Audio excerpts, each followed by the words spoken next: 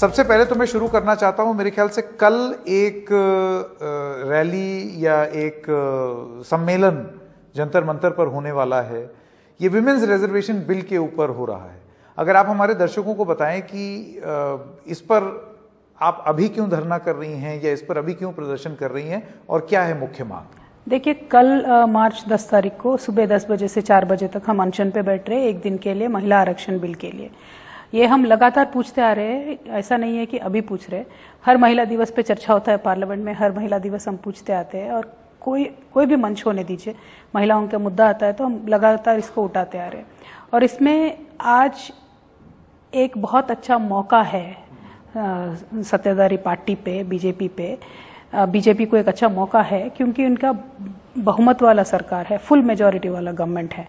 तो मेरा ये रिक्वेस्ट है भारतीय जनता पार्टी से और मोदी जी से कि आप ये हिस्टोरिक अपॉर्चुनिटी को खो मत देना। आप महिलाओं के पक्ष में खड़े हो जाइए और बिल इंट्रोड्यूस कीजिए।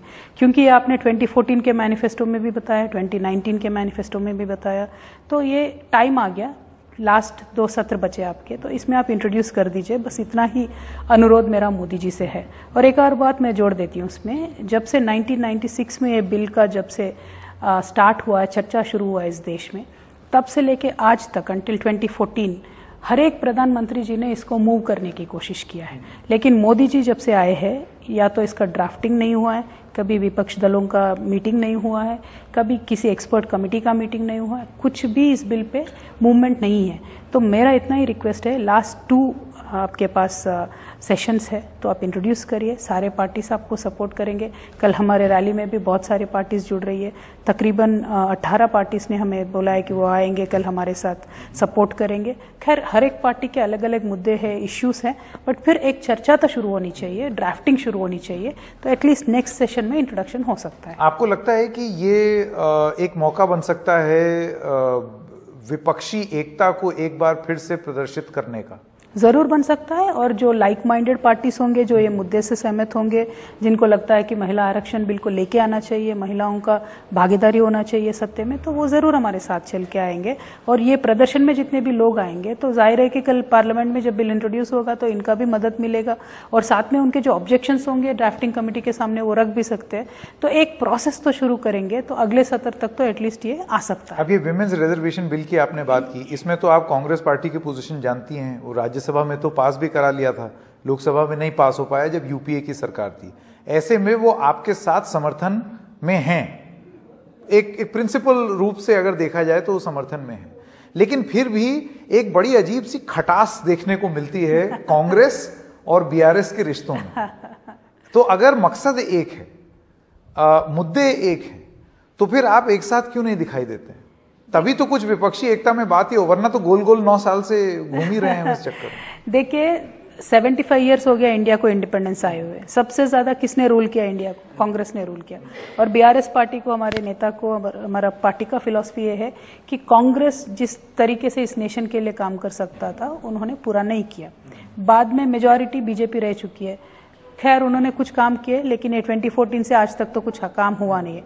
तो fundamental agenda of BRS party is a non Congress non BJP coalition which should come to power in the centre but issues जब आते हैं जैसे आप कह रहे हैं कि वुमेन रिजर्वेशन बिल है तो मैंने सबसे पहले सोनिया जी का नाम लिया है, क्योंकि वो एक ऐसी महिला है जिन्होंने बिल पारित करने का, राज्यसभा में पारित करके भी उन्होंने दिखाया खैर, लोकसभा में वो कर नहीं पाई, अलग बात है।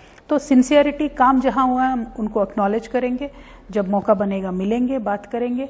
लेकिन जब इलेक्शन की बात आती है जब तक कांग्रेस अपनी जो अहंकार यू नो एटीट्यूड है वो एरोगेंट जो है जब तक वो नहीं छोड़ेंगे लोगों से आके मिलके बात नहीं करेंगे ये बोलेंगे कि हम टीम प्लेयर लेंगे तो तब तक तो कोई पार्टी उनके साथ काम करने को तैयार नहीं है। सिर्फ़ बीआरएस की बात नहीं हर एक पार्टी का वही तमिलनाडु में खड़गे जी गए उन्होंने बोला कि अब वो नेतृत्व का मुद्दा छोड़ दीजिए हम सब साथ में काम करें।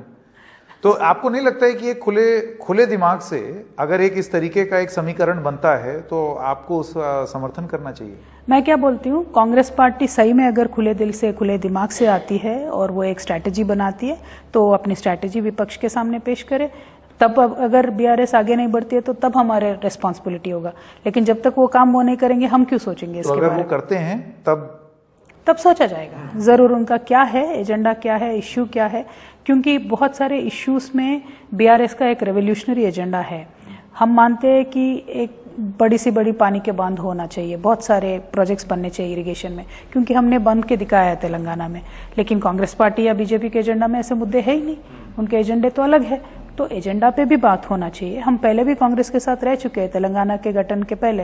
लेकिन एक तब एक कॉमन में प्रोग्राम बना था जिसमें तेलंगाना पॉइंट था इसीलिए हम मिलके काम किए।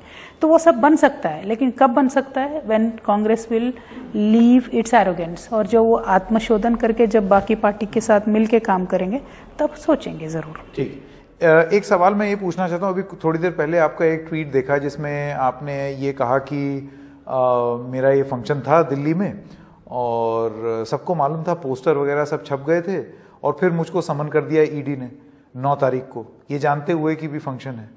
अब आप ग्यारह तारीख को ईडी के सामने पेश होंगी।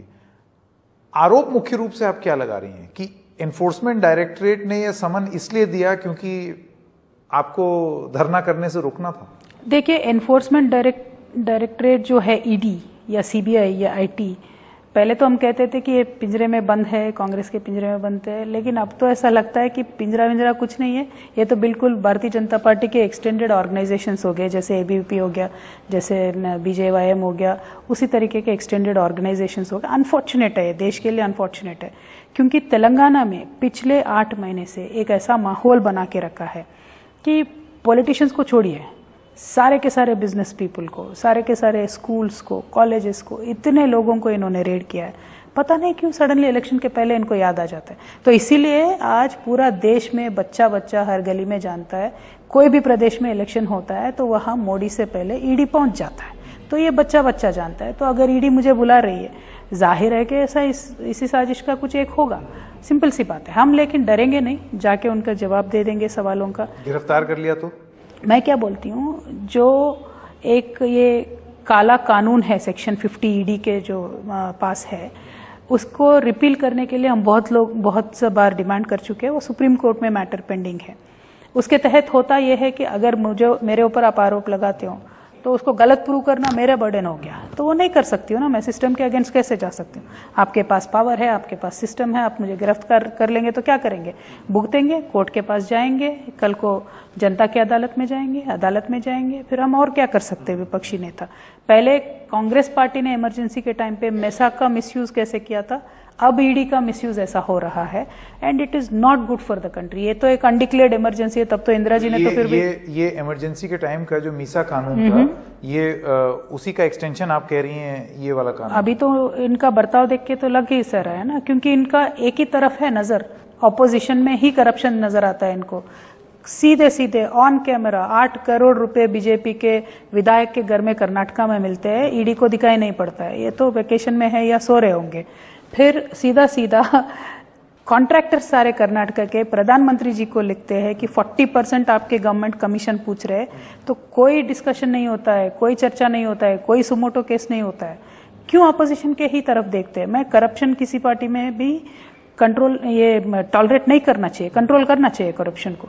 लेकिन सिर्फ़ और सिर्फ़ ऑपोजिशन के तरफ़ ही ईडी सीबीआई एनआईए आईटी सभी देखते हैं, क्योंकि ये इंडिपेंडेंट संस्थाएँ नहीं रही है अभी ये सारे extended version of Bharatiya Janata party है ये लोकहित के लिए काम नहीं कर रहे जनता के लिए काम नहीं, नहीं कर तो आप ये कह रही हैं सिर्फ़ बीजेपी के लिए काम डबल स्टैंडर्ड है। इन संस्थानों में। नहीं सिंगल स्टैंडर्ड है इनका सिंगल एजेंडा है, है। हाँ सिंगल एक ही एक ऑपोजिशन पार्टी को टारगेट करना है। उनको मालूम है क्लैरिटी है क्योंकि उनको एक्सटेंशन पे एक्सटेंशन सर्विस का मिलते रहता है उनके डायरेक्टर को ईडी के डायरेक्टर को एसबीआई के डायरेक्टर को। सेबी के डायरेक्टर को एलआईसी के डायरेक्टर को तो एक्सटेंशन मिल रहा है. As a favour they are working for the party not the government which is very unfortunate और पार्लियामेंट में इनका इतना मेजोरिटी है, आप लॉ पास कर देते हो कि दो साल नहीं, तीन साल एक्सटेंशन देंगे, पाँच साल एक्सटेंशन देंगे, कोई कुछ कह नहीं सकता है क्योंकि मेजोरिटी है। तो मैं वही बोलती हूँ, जितने स्पीड से आपने एक्सटेंशन का पार्लियामेंट में बिल पास कराया, उतने ही स्पीड से आप वुमेन रिजर्वेशन बिल भी पास कर सकते हो। तो मोदी जी से मेरा यही अनुरोध है कि उसी स्पीड से आप वुमेन रिजर्वेशन बिल पास कराइए, क्योंकि जिस देश ने, जो भी देशों ने वुमेन रिजर्वेशन देके वुमेन का पॉलिटिकल पार्टिसिपेशन बढ़ाया है वो देशों का प्रगति बहुत अच्छा है। देखने को मिलता है। There is a lot of difference in governance तो वो हमारे देश के लिए अच्छा है, जनता के लिए अच्छा है। Not only just for women it is good for the whole of democracy एक मैं आखिरी सवाल आपसे पूछना चाहता था, जो minister of tourism and culture हैं, जी किशन रेड्डी, आप ही के राज्य से आते हैं। उन्होंने आज एक बयान दिया, आपका जो दिन भर का जो बयान आया उसके बाद। और वो कहते हैं कि के कविता जी प्रिटेंड कर रही हैं। कि वो एक विक्टिम है, कि उनके साथ बहुत बुरा हो रहा है। ऐसा कुछ नहीं है, उनको ये प्रिटेंड करने की ज़रूरत नहीं है और वो इसलिए कर रही हैं टू डिसीव अदर पीपल और उनका ये कहना है कि इसका कोई सत्य नहीं है इस बात में कि ईडी जो है वो ऑपोजिशन को टारगेट करता है।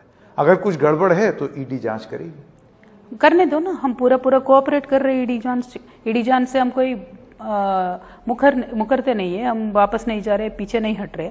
लेकिन जब बी एल संतोष साहब को तेलंगाना का एसआईटी बुलाता है तो भाग के चले गए ना। कोर्ट के पीछे छुप गए, कोर्ट के बाद कोर्ट फिर फिर सीबीआई टेक ओवर करती है एसआईटी को। फिर अभी सीबीआई तो पूरा मामला कोल्ड स्टोरेज में रख देगी। बी एल संतोष साहब कहीं नहीं जाएँगे, कोई आंसर नहीं देंगे। अदानी के जी, अदानी जी के ऊपर हम पूरा ऑपोजिशन इतना शोर मचा रहा है लोग लोग भी आज बोल रहे हैं सोशल एक्टिविस्ट बोल रहे हैं कोई चर्चा नहीं होता है कोई आ, सुमोटो केस नहीं बनता है ईडी तो फिर वेकेशन में जाएगी ना। तो friends of Modi political friends of Modi personal friends of Modi they will not be interrogated only opposition parties are targeted बेचारे हमारे किशन रेड्डी साहब को ये सब पता नहीं है वो सेंट्रल लेवल का ज़्यादा उनको ये नहीं होता है नॉलेज क्योंकि जो हमेशा झूठ बोलते हैं कि कितना सेंट्रल से फंड मिला है तेलंगाना में उस बा, उसके बारे में भी उनको पता नहीं होगा। कितना फंड नहीं मिला है पता नहीं होता है। कौन सा स्कीम तेलंगाना में आया नहीं आया पता नहीं होते। वो कभी भी तेलंगाना के हित में काम नहीं करते। तो अभी ये जो बोल रहे हैं मैं प्रिटेंड कर रही हूँ। मैं उनसे बोलती हूँ आप प्रिटेंड मत करो भैया आपको कुछ पता नहीं है। वो बताते भी नहीं है आपको। आपको बताए बगैर आपके राष्ट्राध्यक्ष को चेंज कर देते हैं आपको बताए बगैर बहुत सारे यहाँ काम उनका होता रहता है। तो आप एटलीस्ट अभी आप अपने पार्टी में खुद पता करो प्रिटेंड मत मेरा आखिरी सवाल ये है कि पिछली बार 2018 में हमें याद है कि केसीआर जी जो मुख्यमंत्री हैं उन्होंने चुनाव 2019 में होना था उसको एडवांस कर दिया। Right. चुनाव आप जीत भी गए। इस बार आपको लगता है कि फिर कुछ सुखबुगाहट हो रही है? क्या चुनाव जल्दी किए जाएँगे? असेंबली सेशन भंग किया जाएगा? अगर आप उसके बारे में कुछ बताना चाहें। देखिए पार्टी का एज ऑफ़ नाउ ऐसा कुछ सोच तो है नहीं। लेकिन हम एक ऐसे पार्टी है जो पॉलिटिकल स्ट्रैटेजी के you know depending on the strategy we immediately take a decision and हमारे father is very well known for that quick decision making process so but as of now party has not taken a decision तो मेरा कुछ comment करने को है नहीं उसके ऊपर। और ये जो सीबीआई ईडी रेड्स वगैरह हो रही हैं और समन हो रहे हैं आपको लगता है ये उसी तेलंगाना चुनाव के चलते हो रहा है या? बिल्कुल, तेलंगाना का चुनाव दिसंबर में खत्म हो जाएगा। तो दिसंबर तक तो ये लंबा टीवी सीरियल के जैसा खींचते रहेंगे। एक के बाद एक रेड होगा मेरे ऊपर हो रहा है, कल किसी और के ऊपर होगा। ये तो चलता ही रहेगा, सिलसिला जारी रहेगा। और आपके लिए बहुत न्यूज़ बनता रहेगा, कोई टेंशन नहीं है उसमें। लेकिन उसके बाद इमीडिएटली बंद हो जाएगा, क्योंकि हर इलेक्शन में हर प्रदेश में हमने देखा है। लेकिन अच्छा नहीं है किसी के लिए भी अच्छा नहीं है। ऐसा नहीं है कि आज मैं विपक्ष में हूँ ऐसा नहीं है। मुझे डरने का कोई बात नहीं है मैं इसलिए अपियर हो रही हूँ और अपियर भी हो जाऊँगी। लेकिन it is not good for democracy डरा धमका के किसी पार्टी को सबड्यूड करके आप लोगों के पास जाओ काम करो लोगों के दिल जीतो बाद में चुनाव जीतो। ये बैकडोर पॉलिटिक्स कितना देर करोगे? के कविता जी बहुत बहुत धन्यवाद thank you so much thank you so much